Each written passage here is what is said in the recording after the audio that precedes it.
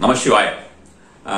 அதாவது இதுக்கு டைட்டில் நான் என்ன போடலாம் அப்படின்னு பார்த்தோம்னா இந்த நார் மட்டும் உங்ககிட்ட இருந்தா நீங்க எல்லாரையும் நார் நாரா கிழிச்சிடலாம் அப்படின்னு. சரி ரொம்ப லோக்கல் ஸ்லாங்கா இருக்கக்கூடாது அப்படின்றதுனால நான் இந்த மாதிரியான ஒரு விஷயம் போட்டிருந்தேன். எதுக்கு உங்ககிட்ட நான் பகிர்ந்துக்கிறேன்னா இது இந்த மாதிரியான ஒரு விஷயம் தான் பட் அட் சேம் டைம் நம்ம வந்து அதுக்கு வந்து அந்த நார் அப்படின்றது எல்லா இடத்துலயுமே இருக்கிறது தானே. அப்ப எல்லா இடத்துலயும் வந்து ஒரு செல்வ நிலை இருக்கிறதா? அது எல்லா இடத்துலயும் ஈஸியா கிடைக்கக்கூடியது தானே அப்படின்னு நினைக்க தோணும். எந்த ஒரு விஷயத்தையுமே நான் வந்து நிறைய தடவை நான் சொல்லியிருக்கேன். எந்த ஒரு விஷயத்தையுமே நம்ம ஆக்டிவேட் பண்ணாதான் வந்து அதுக்கு உண்டான ஒரு பலன் இருக்கும். நம்ம சாப்பாடு இருக்கு அப்படின்ற மாதிரி இருந்ததுன்னா சாப்பாடு இருக்கே சாப்பாடு தான் வீட்டுல இருக்கே அதுக்கப்புறம் என்ன உனக்கு பசி தீரலையா அப்படின்னு கேட்டோம்னா அது வந்து பயன் இல்லாதது. சாப்பாடு இருக்கே நீ சாப்பிட்டுட்டே அதனால உனக்கு பசி தீரலையான்னு கேட்டாலும் வந்து பயன் இல்லாதது. காரணம் அந்த ஜீரண பையானது அதனுடைய வேலையை சரியாக செய்தால்தான் அந்த உணவு அப்படிங்கிறது வந்து நமக்கு கரெக்டா செரிமானம் ஆகும். இல்லைன்னா அறகுறையா நின்றுகிட்டு இருக்கும். சோ அப்போ வந்து அது அது அந்தந்த வேலையை நம்ம வந்து கரெக்டா செய்யும் பொழுதுதான் அது உண்டான பலன் அப்படின்றது கிடைக்குமே தவிர எந்த ஒரு பொருளுமே ஆசிப் அப்படியே இருக்கிறதுனால ஒரு விஷயம் கிடையாது. அந்த விஷயத்திற்குண்டான எனர்ஜியை நாம யூஸ் பண்ண தொடங்கும் பொழுது அதை உணரும் பொழுதுதான் அதற்குண்டான பலனை அடைவோம். இது நீங்க எல்லா விஷயத்திலுமே பார்க்கலாம். அது மாதிரி பார்க்கும்போது தான் நமக்கு வந்து அந்த விஷயத்துடைய ஒரு உன்னதம் தெரிய வரும். இப்போ நம்ம பார்க்க போறது வந்து வேற எதுவும் கிடையாது. வாழை நார். இந்த வாழை நாரும் சரி வாழையின் வேரும் சரி இரண்டுமே மிக மிக அதிகமான ஒரு பலனை தரக்கூடியவை. உங்களால முடிஞ்சதுன்னா இது ரெண்டுத்தையுமே கொஞ்சமா எடுத்துட்டு திருச்சி நீங்க வந்து ட்விஸ்ட் பண்ணி கையில கட்டிக்கலாம். நீங்க குழந்தைகளுக்கு கட்டி விடலாம். ஏதாவது ஒரு கயிறு மாதிரி இருந்ததுன்னா அதுல கூட கட்டி விடலாம். அது நம்ம மேல உடம்புல படணும். அது மாதிரியான ஒரு விஷயம். அது மாதிரி பண்றது வந்து அதிகப்படியான ஒரு பலனை தரக்கூடிய ஒரு விஷயமாக இருக்கும். ஆனா நம்ம வேற ஒரு விஷயம் செய்ய போறோம் அதுதான் பார்க்க போறீங்க. பட் நீங்க இந்த மாதிரியான ஒரு விஷயம் வந்து உங்களுக்கு ஒரு பலனை தரும் அப்படின்றதுனால நான் முதல்ல இந்த ஒரு விஷயத்தை சொல்லிடுறேன். வேறா இருந்தாலும் கண்டிப்பான முறையில எடுத்துக்கலாம். இந்த வேரை இருக்கக்கூடிய முறைகள் எல்லாமே நான் ஆல்ரெடி சொல்லியிருக்கேன். நான் ஒவ்வொன்றிலையும் ரிப்பீட் பண்ண விரும்பல. சின்னதா ஒரு விஷயம் சொல்றேன். ஆயுதம் படாமல் எடுக்க வேண்டும்.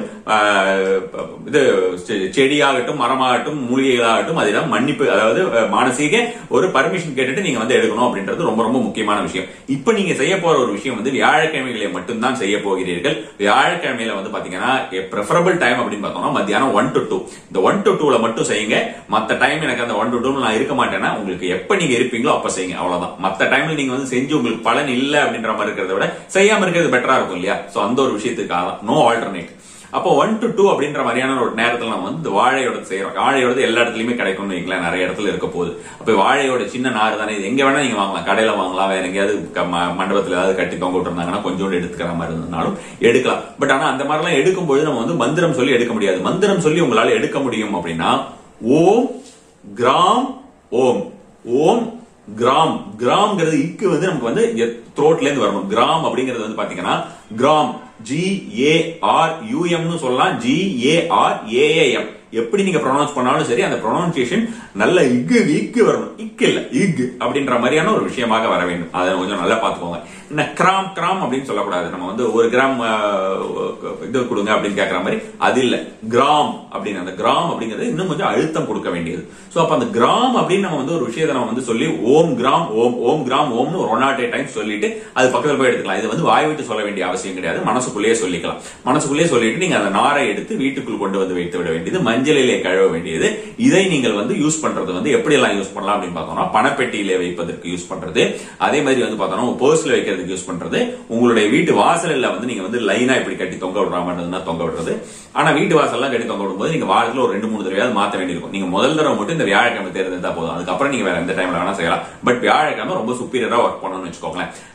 பணப்பையில வைக்கிறது ஒரு லாக்கெட்ல போடுறது இந்த மாதிரியான எல்லா விஷயங்களுமே ஹெல்ப் பண்ணும். ஆனா நீங்க வந்து ஒவ்வொரு தடவையுமே நீங்க அந்த மாதிரி எடுத்துட்டு நீங்க திரும்ப அணியும் பொழுதும் ஆஹ் உங்களால அதை நீங்க கையில வச்சுட்டு இருக்கீங்க. அது ஏதாவது ஜிப்லா கவர்ல போட்டு வச்சுக்கோங்க நிறைய தடவை நான் சொல்லுவேன். சோ அந்த மாதிரி ஏதாவது இருந்தா அதை அப்பப்போ எடுத்துட்டு நீங்க அந்த ஓம் கிராம் மந்திரத்தை ஓம் கிராம் ஓம் மந்திரத்தினை வந்து ஒரு ஒன் நாட் எயிட் டைம் சொல்லி சொல்லி நீங்க வச்சுக்க வச்சுக்க உங்களுக்கு அதிகப்படியான பலன் கிடைக்கும். கழுத்திலே போட்டுக்கொள்வது ஒரு இது மாதிரி உங்களுக்கு வந்து கட்டி தொங்க விட்டுக்க முடியும் அப்படின்ற மாதிரி இருந்ததுன்னா உங்களுக்கு வெளியில தெரியணும்னு அவசியம் கிடையாது. உள்ளுக்குள்ள இருந்தா போதும். அது மாதிரி ஏதாவது தொங்க விட்டுக்க முடியும். பெண்கள் வந்து அவங்க திருவாங்கல்ய சரடு மாதிரி ஏதாவது இருந்ததுன்னா அந்த சரடுல ஏதாவது கொஞ்சம் அவங்க உடம்புல படுற மாதிரி அவங்க கட்டிக்கிறாங்க அப்படின்ற மாதிரி இருந்தாலும் ஹெல்ப் பண்ணும். அல்லது அவங்க தங்க நகைகள் தான் போட்டுக்கொள்கிறார்கள்னா அதுவும் அந்த மாதிரி ஏதாவது பண்றதுக்கு வாய்ப்பு இருக்கான்னு பார்த்து பாருங்க. முடிஞ்சதுன்னா அது ஹெல்ப் பண்ணும். இல்லைன்னா பேக்ல வச்சுக்கோங்க.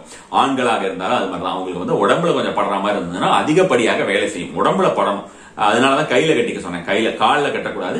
ஸோ கையில கட்டிக்கொள்ளலாம். அல்லது வந்து அதே மாதிரி இடுப்புலையும் கட்ட வேண்டாம். கை கையில கட்டுறதுங்கிறது நல்ல பயன் இருக்கும். தொடையில கட்டுறதும் வந்து அது அதிகப்படியான பலன் இருக்கும். தொடையெல்லாம் உங்களுக்கு கட்டிக்க முடியுமான்னு பா ஏன்னா பாத்தீங்கன்னா உங்களுக்கு அந்த டார்ஜான் மூவிஸ் எல்லாம் வரும். தொடையில கால்ல எல்லாம் கட்டி தொங்க விட்டுட்டு அப்படி ஒவ்வொரு இடத்துல ஏறி ஓடி ஆடி பண்ணிட்டு இருவாங்க நம்ம அந்த மாதிரிலாம் பண்ண முடியாது. ஸோ அப்போ அந்த மாதிரியான ஒரு காரணத்தினாலே நீங்கள் வந்து நார்மலா இதை வந்து நான் கையில கட்டிக்கிறது கழுத்துல கட்டிக்கிறது ரொம்ப பெஸ்டா இருக்கும். அதே மாதிரி நீங்க வந்து பணப்பையிலே வைப்பதும் அதிகப்படியான ஒரு பலனை தரக்கூடியதா இருக்கும். நீண்ட நாளிலே ரொம்ப நாளா பயன் தரக்கூடிய ஒரு விஷயம் இது.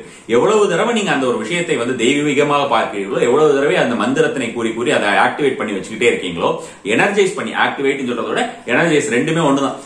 பண்ணி வைக்கிறீங்களோ அவ்வளவுக்கு எவ்வளவு அது பலன் தரக்கூடியதா இருக்கும். சும்மா வாங்கி அது பொருள் மாதிரி போட்டு வச்சுட்டு அது ஒண்ணுமே எனக்கு ஒர்க் ஆகல அப்படின்னு சொன்னீங்கன்னா பிரயோஜனம் இல்லை. அவ்வளவுதான். அது ஒண்ணுமே ஒர்க் ஆகாம தான் இருக்கும். எப்பொழுது நாம் அதை தெய்வீகமாக பார்க்க ஆரம்பிக்கிறோமோ அப்பொழுதுதான் அதுக்குள்ள உள்ளே ஒரு- ஒரு வெளியில வரும். நம்ம வந்து சாதாரணமா நடந்து போயிட்டு இருந்தா கூட நான் நம்ப மாட்டேன் இவர் வந்து கடவுள்னு நம்ப மாட்டேன் இவருக்கு வந்து கழுத்துல வந்து கிரீடா இருக்கணும். க- கழுத்துல வந்து தலையில வந்து கிரீடா இருக்கணும் கழுத்துல வந்து பாம்பு இருக்கணும் கையில வந்து ஒரு வேல் எல்லாம் வச்சுட்டு இருக்கணும். அவர் புளித்தோல் மாதிரி ஏதாவது போட்டுக்கிட்டு இருக்கணும் கையில தலையில இருந்து ஸ்வ- தண்ணி வரணும். அப்பதான் நான் சிவன் நம்புவேன்னு சொன்னா பிரயோஜனம் வந்து லாஸ் வந்து நமக்கு தானே தவிர அவருக்கு கிடையாது.